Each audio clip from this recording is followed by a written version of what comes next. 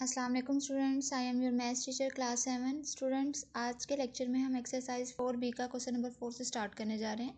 Chapter name है आपका square and square roots ठीक है? जिसमें हम स्क्वेयर एंड स्क्वेयर रूट्स में पढ़ रहे थे, ठीक है? क्वेश्चन नंबर फोर है students find the positive number which when multiplied by itself give this number ठीक है?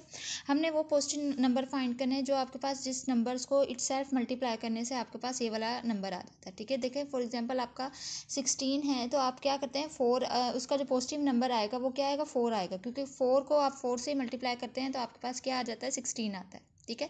इसी तरीके से स्टूडेंट्स आपने ये जो नंबर दिया हुआ है, आपने कोई भी एक ऐसा नंबर फाइंड करना है, जिसको आप मल्टीप्लाई करें तो आपके पास क्या आ जाए? ये इसका नंबर ये आ जाए, ठीक ठीक है? तो इट मीन्स आपने इसका स्क्वेयर रूट फाइंड करना है।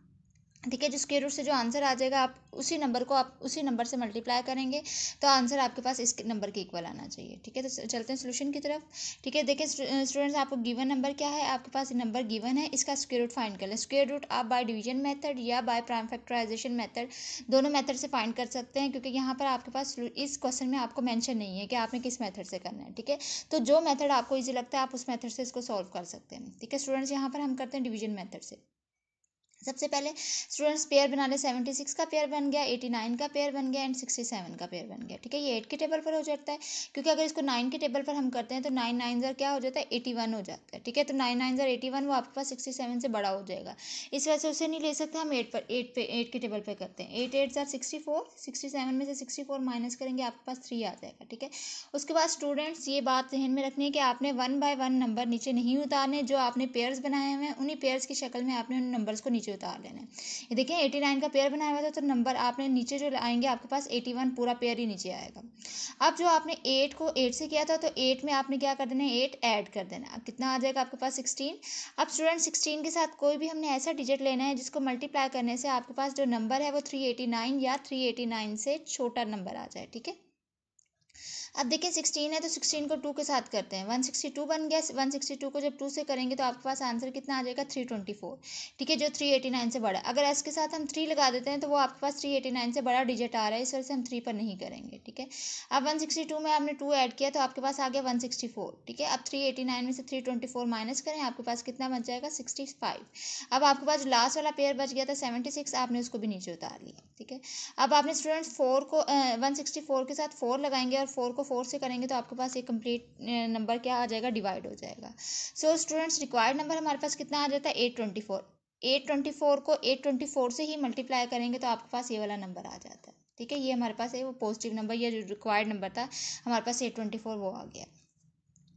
अब स्टूडेंट्स देखते हैं question number five a general having formed his fifteen fifteen thousand four hundred soldier in a solid square found that there were twenty four man left over of how many soldiers did the front row consist ठीक है?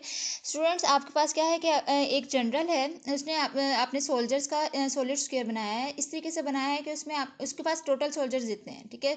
उसने solid square बनाना है found that there were twenty four man left over ठीक है? Solid square students इस तरीके से बनाना है कि अगर उसके पास इतने सोल्जर्स हैं तो उसने उतने उसकी रोज़ भी इक्वल हैं और उसने हर रो में जो नंबर ऑफ़ सोल्जर्स हैं, वो भी इक्वल आ रहे हैं। फॉर एग्ज़ाम्पल आपके पास ट्वेंटी फाइव सोल्जर्स हैं तो उसने क्या करना है? फाइव रोज़ बनानी और फाइव रोज़ में, हर रो में जो सोल्जर है, वो भी कितने होने चाहिए? फाइव होने चाहिए। ठीक है तो उसने अरेंज किया है, लेकिन अरेंज करने के लिए उसने जब स्टार्ट किया तो उसके बाद उसके ट्वेंटी फोर जो सोल्जर्स थे, वो एक्स्ट्रा आ गए। मतलब वो किसी भी रो में एडजस्ट नहीं हो रहे हैं। ठीक है तो हमने क्या करना है? स्टूडेंट्स ऐसे वो row number of rows find करनी है कि जो नंबर ऑफ़ रोज़ फाइंड कर लेंगे और हमें पता चल जाएगा कि नंबर ऑफ़ रोज़ इतनी है तो हर नंबर ऑफ़ रो में नंबर ऑफ़ सोल्जर्स भी उतने ही आ रहे हैं। ठीक है? टोटल सोल्जर जितने हैं सोल्जर्स लेफ़्ट कितने कर देते हैं? ट्वेंटी फोर स्टूडेंट जितने लेफ़्ट के हैं, उसको उसमें से माइनस कर देंगे। आपके पास इतने नंबर ऑफ़ सोल्जर्स आ जाएँगे जो रोज़ की फॉर्म में अरेंज हो रहे हैं। इनका वो स्केयर रूट फाइंड करें, उसी तरीके से सिंपल डिवीज़न मेथड से seventy six fifty three and one ठीक है? वन पेयर है तो वन को वन से करेंगे, आपका वन आ जाएगा फिफ्टी थ्री पेयर उतार लें। वन में वन ऐड कर दें टू आ जाएगा। ट्वेंटी टू ट्वेंटी टू को टू से करेंगे फोर्टी फोर आएगा थ्री लगाएँगे तो वो बड़ा डिजिट हो जाएगा, ठीक है? फिफ्टी थ्री में से फोर्टी फोर माइनस करें नाइन और सेवेंटी सिक्स पेयर नीचे आ गया ठीक है? ट्वेंटी टू में टू ऐड किया ट्वेंटी फोर आ गया। अब ट्वेंटी फोर के साथ हमने फोर लगाते हैं तो आपके पास nine seventy six complete divide हो जाता है। ठीक है तो नंबर ऑफ़ सोल्जर्स कितने अरेंज हो गए हैं? हर में वन ट्वेंटी फोर मतलब आपके पास वन ट्वेंटी फोर ही रोज बन रही हैं और आपके पास जो नंबर ऑफ़ सोल्जर्स इन, हर रो में नंबर ऑफ़ सोल्जर्स भी कितने आ रहे हैं? वन ट्वेंटी फोर ही आ रहे हैं। उसके बाद स्टूडेंट्स देखिए question number six A gardener plants an orchard with these trees and oranges them so that the number of rows of trees equal the number of trees in each row how many rows are there ठीक है? एक gardener है orchard mean बाग ठीक है? वो gardener है, अब वो अपने बाग में इतने number of trees and orange इस तरीके से अरेंज करना चाह रहा है कि उसके पास जितने नंबर ऑफ़ रोज आए, उसी में उतने ही नंबर ऑफ़ ट्रीज ऑरेंजेस के ट्रीज या ऑरेंजेस आए। ठीक है? मतलब आपके पास number of rows and number of trees in each row ठीक है? वो आपके इक्वल होने चाहिए। स्टूडेंट्स देखिए, जैसे आपने क्वेश्चन नंबर फाइव किया था, उसमें आपने, उसने मेथड वही है, लेकिन उसमें उन्होंने बता दिया था कि उन्होंने अरेंज करना चाहा लेकिन उसमें एक्स्ट्रा आ गए, ठीक है?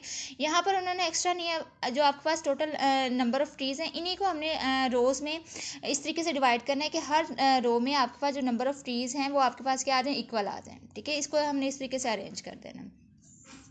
ठीक है, सबसे पहले देखिए टोटल नंबर ऑफ़ ट्रीज कितने हैं आपके पास दिस है नंबर ऑफ़ रोज हमने फाइंड करने। नंबर ऑफ़ रोज स्टूडेंट्स जब आ जाएँगी तो नंबर ऑफ़ रोज तो वही हमारे पास क्या होंगे number of trees in each row ठीक है? क्योंकि हमारे पास नंबर ऑफ़ रोज और number of trees in each row हमारे पास इक्वल होंगी। ठीक है? तो इसका क्या करेंगे? हम इसका स्क्वेयर रूट फाइंड कर लेते हैं।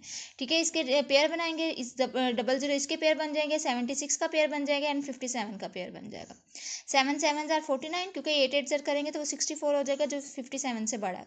सेवन सेवन जार फोर्टी नाइन करेंगे इसमें से माइनस करेंगे, आपके पास एट आ जाएगा, ठीक है? सेवेंटी सिक्स पूरा पेयर नीचे उतार लेना स्टूडेंट्स पूरा पेयर ही नीचे उतारना है वन बाय वन आपने डिजिट नीचे नहीं उतारना। है ठीक है? सेवन में सेवन ऐड कर देंगे आपके पास कितना बन जाएगा? फोर्टीन बन जाएगा। अब आपने फोर्टीन के साथ कोई भी एक ऐसा डिजिट लगाएँगे, जो आपके पास एट सेवेंटी सिक्स पूरा डिवाइड हो जाए, या एट सेवेंटी सिक्स से छोटा नंबर आ जाए, ठीक है? स्टूडेंट फोर्टीन के साथ अगर हम सिक्स लगाते हैं सिक्स को सिक्स से मल्टीप्लाई करेंगे तो आपके पास एट सेवेंटी सिक्स पूरा नंबर डिवाइड हो जाता है, ठीक है?